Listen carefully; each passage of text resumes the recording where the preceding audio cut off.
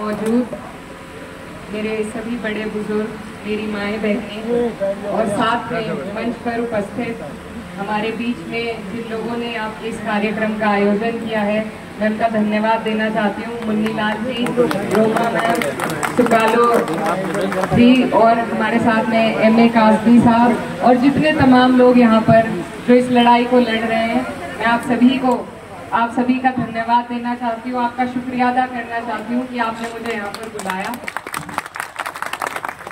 आप लोगों से, आप लोगों की जितनी समस्याओं से अभी हम अवगत हुए, जो जानकारी हासिल हुई तो बहुत अफसोस हुआ कि किन हालातों में आपको यहाँ गुजर बसर करना पड़ रहा है।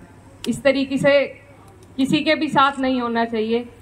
किसी भी कम्युनिटी के साथ, समुदाय के साथ ऐसा व्यवहार सरकार को नहीं करना चाहिए। और जब से आपका ये आंदोलन चल रहा है, मैं समझती हूँ कि मेरी उम्र भी उतनी नहीं है जितने वक्त से आप ये आंदोलन चला रहे हैं। तो आपकी हिम्मत को, आपके जज्बे को मैं सलाम करती हूँ। और मैं साथ ही ये भी बताना चाहती हूँ कि आपसे जो लगाव है, भले क्षेत्र का ना हो, लेकिन आपसे लगाव हमें विरासत में मिला है।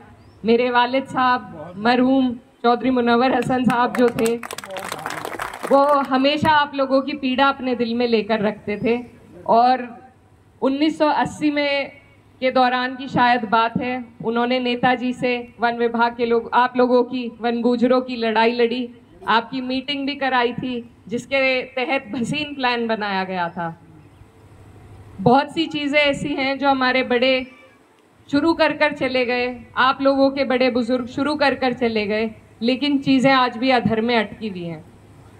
तो मेरी कोशिश यही रहेगी कि जो आपकी लड़ाई है और जो आपकी परेशानियाँ हैं, उनको हम फिर से और मजबूती देने का काम करेंगे। जहाँ आप लोगों ने अपनी दुआओं से हमें पहुँचाया है, वहाँ बहुत ईमानदारी के साथ और साफ़ गोई के साथ आपकी आवाज़ को मैं उठाने का काम करूँगी।